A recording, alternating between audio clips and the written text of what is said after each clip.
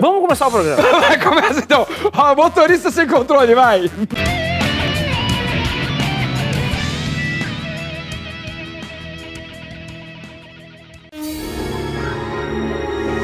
Quando se trata de estar no lugar errado, na hora errada, esse cara é campeão. O caminhão tenta ser mais rápido que um trem que vinha em alta velocidade.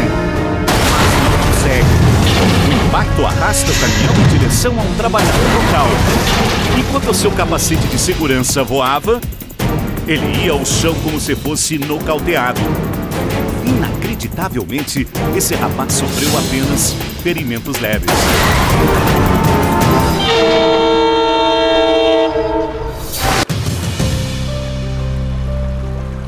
Quando um caminhão de duas toneladas tenta atravessar um rio, já dá para imaginar o que vai acontecer.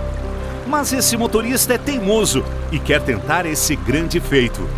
Ele começa a atravessar o rio, mas não calcula a profundidade do local e começa a afundar. Incrivelmente, o caminhão continua o caminho até ter uma parada inesperada. O veículo começa a flutuar.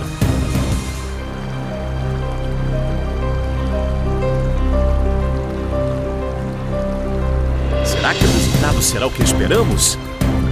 A correnteza começa a empurrá-lo e ele retoma a jornada.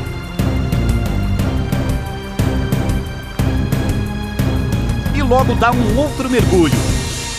Mas isso não faz com que esse motorista determinado desista.